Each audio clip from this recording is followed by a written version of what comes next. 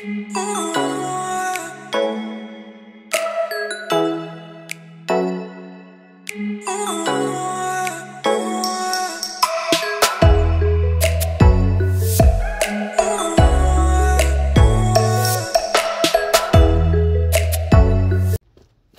là, tu es en train de te demander, mais pourquoi il décharge tout son camion comme ça? Qu'est-ce qu'on s'en fout? Ben, Tu vas comprendre pourquoi. Là, je viens installer tout ce que j'ai reçu de chez euh, pour euh, leur pack Orsi Mobile. Donc tout ce qui est aménagement intérieur de camion. Donc euh, je vais y mettre ici une étagère que j'ai pris avec des rangements. Si tu te rappelles bien, j'ai aussi acheté les caisses de rangement avec les tiroirs de chez Wurtz. Et je vais aussi avoir tout ce qui est barre de transport, ça c'est génial. quand tu as ça dans ton camion, tu es heureux comme tout. En fait, tu as un rail qui se met en bas, un rail qui se met en haut, pareil un peu plus loin. Tu viens éclipser tes barres dedans, en fait pour tout ce qui va te maintenir, tout ce que tu vas apprendre. Tu as des protections en mousse, donc tu peux y mettre ton placo, euh, des choses euh, assez fragiles à transporter. Tu coinces tout ça dedans. Donc là, j'ai besoin de tout retirer. Je vais retirer aussi le lino que j'ai dedans, parce que je vais devoir faire euh, à la défonceuse un trou dedans. Tu vois, le, plancher est assez épais, donc je n'ai pas besoin, de le transpercer complètement. Donc je vais juste faire sur l'épaisseur de, la barre. Donc je tout. Je continue, je te montre ça tout de suite après.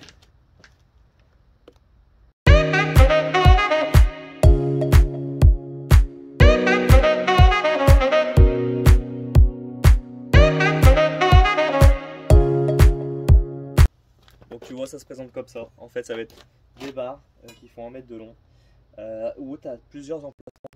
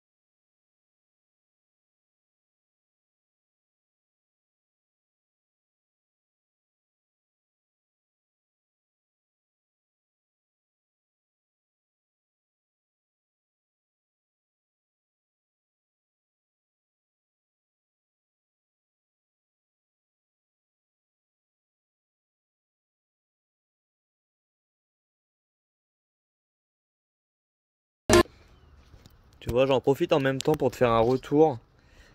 Hop, sur cette euh, défonceuse à fleureux, je te ferai une petite vidéo complète euh, sur celle-ci.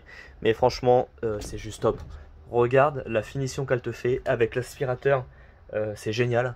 T'as quasiment pas de poussière et tu vois, c'est ultra, ultra propre.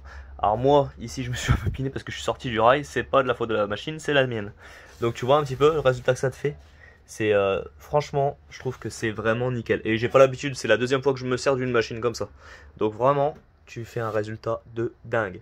Bon, je continue tout le reste et euh, je te remontre euh, après.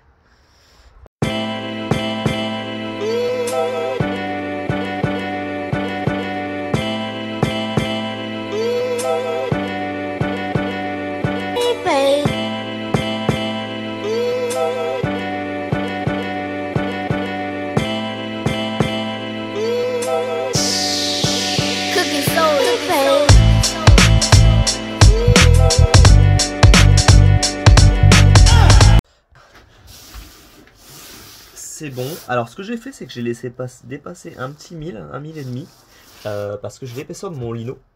Et en fait, je veux pas que mon lino il bouge avec le temps qui vienne dessus. Donc comme ça, en fait, ça va s'arrêter vraiment à fleur. Mon lino, il va être voir un petit peu, un poil au-dessus. Comme ça, mes plaques vont glisser et il y aura pas ce rebord qui risque de m'abîmer mes plaques de placo que je vais généralement mettre dessus. Mais voilà ce que ça donne. Donc tu vois, c'est plutôt, c'est plutôt sympa. Allez, maintenant, on attaque l'eau. Bon ben voilà, tu vois, le bas c'est mis. Donc comme je te dis, j'ai laissé un petit peu dépasser pour l'épaisseur de mon lino. Tu vois, là, pareil ici. Et le haut aussi c'est fixé euh, avec dérivé. Donc j'en ai mis en gros 5-6 par, par barre. Euh, dans le même alignement, je vais te montrer. Tu vois, même alignement ici, même alignement là, et pareil euh, dans ce sens là. Donc maintenant je vais pouvoir représenter mon lino et faire mes découpes. Je te redis à tout de suite. Voilà, ça y est, tu vois, les découpes sont faites. Donc euh, j'ai ma petite barre qui est, découpée. Donc c'est impeccable, tu vois, là on vient, on vient à fleur. Ici, tu vois. Donc c'est pas mal du tout. bon, tu vois, là, il fait nuit, on a le phare. Ça sera bon pour aujourd'hui. Je reprends demain et je continue la petite vidéo. Allez, bonne soirée à tous. Donc ça, tu vois, c'est mes barres qui vont venir euh, de bas en haut ou de haut en bas comme tu veux, euh, qui vont venir se coincer euh, dans les rails. En fait, je ici et là.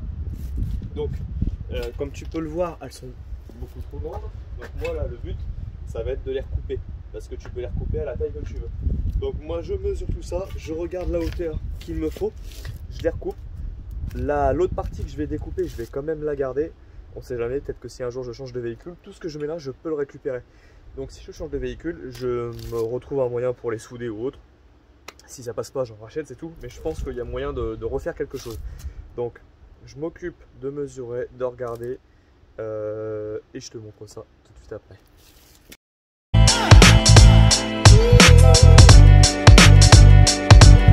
je prends la notice et en fait sur la notice tout est bien expliqué.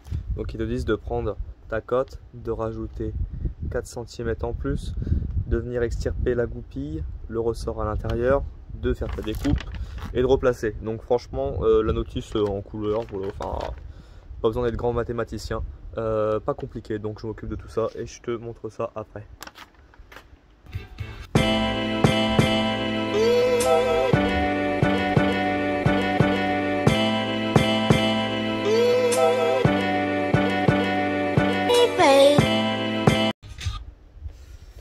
Ça y est, tu vois, j'ai fini de préparer ma, barre.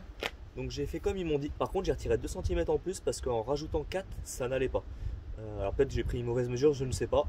Donc j'ai rectifié. Donc tu vois, euh, ici, euh, j'ai retiré la goupille, j'ai recoupé mon tube, j'ai repercé, remis ma goupille. J'ai fait un test, ça marche très bien. Donc là, je vais venir mettre ma mousse. Donc je vais couper ma mousse à la hauteur qu'il me faut. Et je le mets en place, je te montre ça. Donc je vais mettre euh, peut-être plutôt dans ce sens-là. On va mesurer combien, on va mesurer combien il me faut, ça sera plus simple. Donc là, moi je vais prendre mon tube complet sans prendre mon ressort. Donc je suis à 131. Donc on va couper ça à 131. On va voir ce que ça donne. Hop, regarde, les écritures sont les mêmes.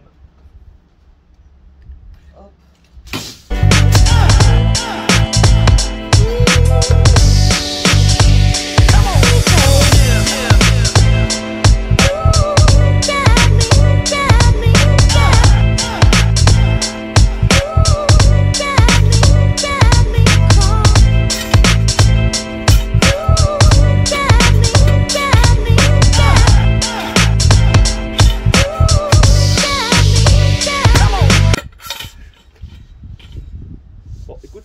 Donc euh, je te mets sur pause, je te reprends après.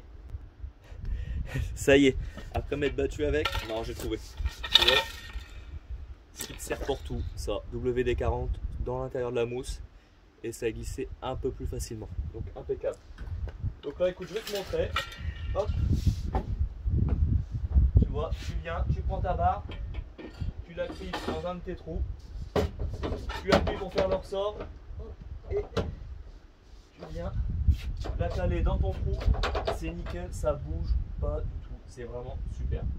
Euh, donc voilà, une de prête, je fais les trois autres et je te montre.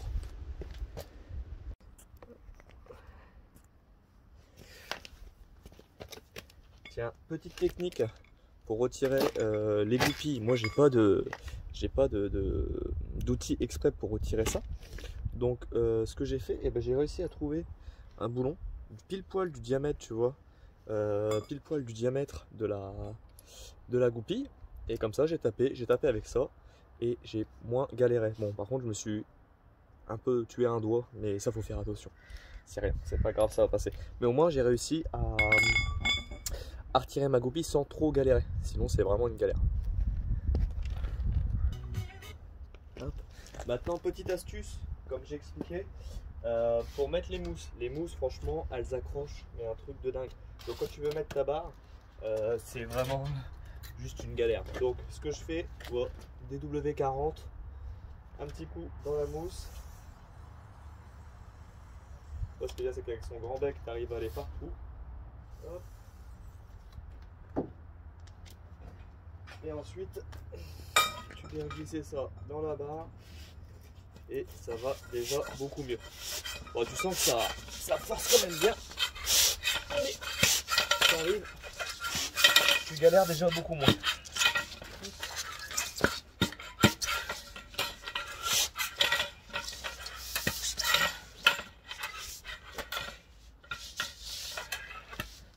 Et voilà, tu vois, comme ça là on est bien. On a simplement le ressort qui fonctionne. Donc c'est comme ça que ça marche, tu vois, c'est sur ressort.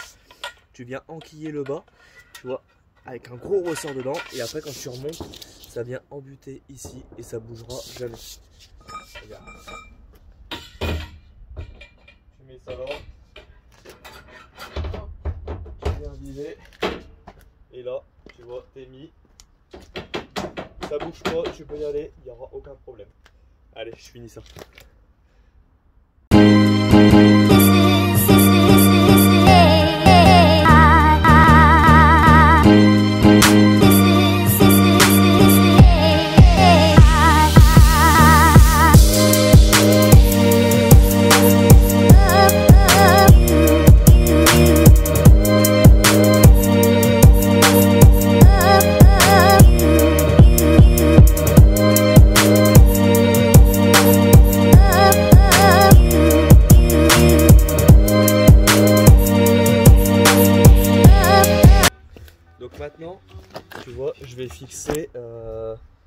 Fixer ce rail là qui va venir complètement dans le fond euh, de ma cabine, ce qui va me permettre de pouvoir y, glisser des, sangles. En fait, c'est des sangles exprès avec des pions qui viennent se mettre euh, dans les rainures, à peu près le même principe que les traverses du haut et du bas. Et ces sangles vont me permettre de bien me maintenir toutes mes caisses que j'ai au fond, caisse aspirateur. Et c'est de la sangle à ressort automatique, comme une ceinture de sécurité. Dès que tu la déclipses, pouf, ça s'enroule dedans, c'est hyper pratique. Donc je mets ça et je te remontre après. Donc tu vois, là ça y est, j'ai fixé mon rail. Donc j'y ai mis euh, dérivé. J'en ai mis une bonne dizaine au moins pour toute la longueur. On doit avoir un, on a 1m50. Donc je l'ai fixé sur toute la longueur. Pourquoi? Pour mon aspi, euh, mon aspirateur, elle est trop haute, mais c'est pas grave. Juste pour le maintenir, c'est largement suffisant avec mes deux crochets. Mais je préfère l'amener jusqu'au bout parce que si je veux des fois déplacer mes caisses, tu vois, parce que ici j'ai mon logement pour mettre mes rails. Euh, enfin, tout ce qui est plus grand que 3 mètres, des rails, du bassin, ce que tu veux. Euh, et que je vais devoir déplacer mes caisses euh, là pour pouvoir ouvrir ça et y glisser mes rails, ben, je veux pouvoir fixer mes caisses jusque là-bas. et donc, avec comment je vais les fixer? Avec ça. C'est ce que je te parlais, c'est la sangle automatique de chez qui marche comme une ceinture de sécurité. En fait, quand tu tires dessus, euh, ça se déverrouille comme une ceinture. Mais ça, je te montrerai. Euh, et en fait, ces rails-là sont conçus exprès pour ces sangles-là, avec ces pions euh, qui viennent en fait se clipser. Donc là où tu en as envie, tu viens y mettre simplement ton petit clips, en fait, tu vois. Ça rentre dedans. Et quand tu le décales, tu viens le mettre ici, hop, tu vois, c'est pris dedans. Et là, ça ne bouge plus. Tu vois, là, tu peux y aller. Et tu peux quand même le déverrouiller. Donc, c'est ça qui est génial, c'est que tu peux le déverrouiller et le déplacer assez aisément pour le mettre euh, à l'endroit où tu veux. Une fois que c'est calé, on n'en parle plus, ça ne bouge plus. Donc voilà, là, je vais les installer pour, tu vois, mes caisses là, euh, mes stacks de Walt et mon pack out de chez Milwaukee. Je l'installe, je te montre ça. Donc, tu vois, là, mes pions sont mis de chaque côté sur mes sangles. Tu vois, tout est sanglé, ça ne bouge pas et ça ne bougera jamais. Et le principe de cette sangle-là, qui est pour moi euh, juste énorme, en gain de temps, c'est ça. C'est que tu prends, tu fais ça, Tu vois, tu viens passer ton cran ici, ton cran, et là, en fait, c'est comme une ceinture de sécu. Donc, tu ne perds plus de temps à devoir utiliser tes deux mains. Tu fais ça, tu lèves, tu prends ta caisse, et tu vas sur ton chantier. Et là, quand tu veux venir, tu vas remettre. Bon, je te fais une main, c'est pas évident. Hein. Mais euh, je, te, je, te, montrerai un petit peu le principe, euh, peut-être plus correctement, mais tu vois, tu fais ça, et tu sangles, tu sangles, et c'est fini. On n'en parle plus. Voilà. Et tu arrives de ton camion, de ta porte latérale, tu prends tes affaires, et ça y est, on n'en parle plus. Tout est fixé. Donc ça, c'est vraiment juste top. Donc tu vois là, j'ai toute ma rangée d'outils euh, qui est au fond, bien rangée, bien calée, qui ne bougera jamais. Vraiment, pour y aller, les arracher, il ben, faudrait que l'oreille derrière il s'arrache. Donc voilà, voilà comment équiper pour l'instant euh, le fond du camion. Moi, ça me va très bien. Tout est bien rangé, tout est bien à sa place. Donc ça, c'est le principal pour ma part.